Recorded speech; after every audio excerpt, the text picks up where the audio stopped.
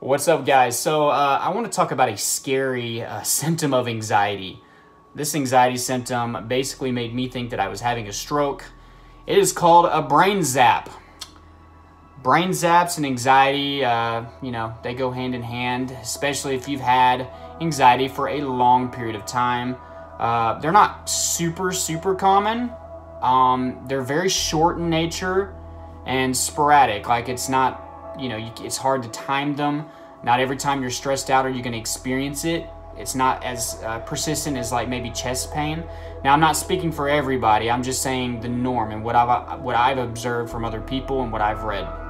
Um, for instance, I was horrible with anxiety, with my health anxiety and panic disorder, uh, especially those two for four years. Okay, just terrible for four years, and I only experienced two of these. One that I can really, really remember, which was the scariest one. And the second time it happened, I kind of figured out that that was what it was, and I didn't worry so much. But I'll tell you the story on the first one uh, that I had.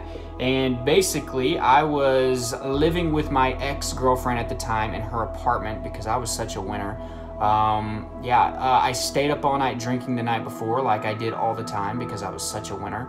And I woke up the next day and I was nauseated. I had, you know, horrible horrible uh, anxiety symptoms. My chest pain was the, you know, just as always, crushing, uh, making me feel like I was going to drop dead at any moment.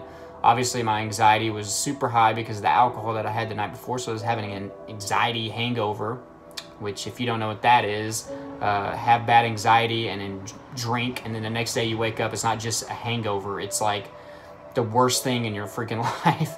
Uh, it's just terrible. So, uh, yeah, so I was already feeling like crap. So I got up and we were getting ready to go to a little league softball game as her little sister was playing. So she was in the bathroom doing her makeup. I had already showered. I was gonna go in and like brush my teeth, or I was gonna tell her something, or use the bathroom or something, pee or whatever. And as I was getting close to the doorway, I just felt this crazy buzzing rush in my head. Uh, it kind of started at the top and ran down, but it was like somebody put jumper cables on my ears. I was just like, Ugh. it was just like crazy. I remember like because guys, if you would have seen the video of me on the first one, you would have been like, "What is up with this dude? Like, he looks like he's like having a stroke or something, or he just looks like he's going crazy." Because it was brand new. This is the very first time this ever happened to me. So I was like, I literally thought I was having a stroke. I remember like being like, "Oh," like I was doing like that because I was. It felt su like super scary and like really freaking real. So, with that being said, uh, that was that. After that, I, I remember telling. Uh, my ex at the time was like telling her, call 911, call 911. And she didn't do it, thank goodness, because it didn't last very long. But at that moment, I literally thought I was about to drop dead. I was like, here's the stroke that I've been waiting on. Um, guess it got me before the heart attack and the cancer and everything else that I thought was wrong with me. So that's my story on that. I had another one later on. It was just more random. It wasn't as intense feeling, but right away I, I could recognize that it was what happened the first time, so it didn't freak me out as bad. But they are very, very scary, guys. But good news, are usually uh, sporadic, spread out in nature, um, and they're short duration usually. Now, everybody's different. if you have experienced anything different than what I have explained, please let me know in the comments down below. Um, people, you know, have described it as like a jolt or a, a shake or a buzz or electric shock. Zap is like a really, really good word. But I honestly think it's kind of like a spasm, like a brain spasm. You know, we get these spasm and twitches in our body from anxiety, from the muscle tension and stuff all the time. But you never think about what your brain's doing, okay? That's an organ up there that can spaz out too, I guess. Uh, so maybe that's what actually is going on. Maybe it's what that vibration feeling was. I don't know. Uh, there's not a lot of information on brain zaps. Uh, I've kind of looked over the past day or two, just trying to scrape up some extra things that maybe I didn't know that I could share with you guys. The thing that I've come across the most is that it's just from high levels of stress persistently happening.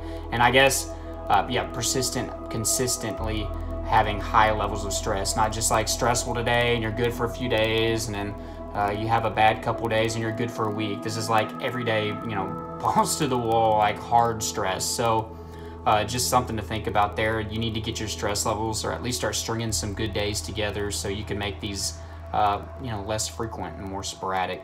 Now, there are some people that are going to have this all the time, and that's just how their body handles it. Just like some people have more uh, chest pain, some people have more IBS. Everybody's different. That's the thing. There's no uh, you know, golden rule on symptoms. Everybody's going to experience things in a different way. We're all different people and we interpret and handle our symptoms in different ways. So, with all that being said, guys, yeah, brain zaps are very, very scary, but they are common with anxiety. At least having them a couple times, maybe in a few years, a few years of uh, of having anxiety. So, with that being said, we do need to get a you know a handle on it, and I tell you all these tips at the end of my video, guys. Um, I really want you guys to start following some of these. Um, I get you know a lot of feedback from people after I give tips, and it's just like another question, and it's another question. I understand a lot of you guys are scared, but you have to start actually, you know, getting a plan of action together. And I'm giving you one. I'm telling you all these tips. It's a lot of people, the honest truth, a lot of people don't want to hear, you know, that they got to start exercising. A lot of people don't want to hear that they got to start eating right. You know, uh, journaling is for losers or nerds or, or just for women. Um, I'm not, you know, I'm a manly man. I don't need to have my own personal diary. Or, you know, I don't want to do meditation, man. I'm not a monk, you know. You got to stop making excuses for yourself and you got to start getting out there and making a plan of action, okay? You need to write down what you are doing in your life right now that could be causing your anxiety. Get rid of it, okay? You can do that in a journal. Journaling every single day and showing gratitude for the things that you have in your life is a great way of changing your mind and starting to think more positively. Okay, meditation every single morning, every single evening is going to set your day up. It's going to set your week up, your month, and your life up. Honestly, it helps you visualize your goals. There are, you know, tons of videos on guided meditation. I will have some that I will do in the future, but I don't, you know, I don't want to, you know, go into it, you know, half-heartedly and not do a good job. I want it to be good for you guys. Um, eating a healthy diet is going to help you with your brain chemistry. It's going to help you get the nutrients that maybe you weren't getting with processed food, okay? Cutting out some substances like alcohol and uh, caffeine and tobacco and drugs, of course. Those are going to help you out, maybe limiting your sugar a little bit. It's just overall being healthy, okay? That's going to help you with your mental health, guys. So thank you so much for watching. I hope you got something out of this go down in the description down below there are going to be a bunch of resources workbooks on panic you know panic disorder panic attacks health anxiety there's going to be uh, some books on uh, journaling and meditation. There's a lot of stuff down there. I have my own personal anxiety store that I created for products that I recommend. So there's also going to be the vitamins that help you with anxiety. Uh, if you're not taking a multivitamin, guys, you need to be doing it. That's going to help you out with the nutrients that you aren't getting in your diet. Even eating a healthy diet, it's hard to get everything. So uh, multivitamins, great. Um, aside from that, guys, join the Facebook group if you haven't because we got a lot of cool members in there. A lot of people that are helping each other out. Um, you know, I post in there whenever I can. Uh, we all just give each other positive feedback, and it's a really, really cool family to be a part of. If you have any type of anxiety disorder, make sure that you join that. Like this video if you got some value out of it. I hope I was able to explain it in my words the best way I can. Um, brain zaps, yeah, they're they're freaking scary. Um, yeah, so leave me a comment down below as well. Let me know if you've dealt with any of this and your take and your experience and what did a brain zap feel like to you. Subscribe if you haven't and hit that notification bell so you can get updates whenever I have my videos.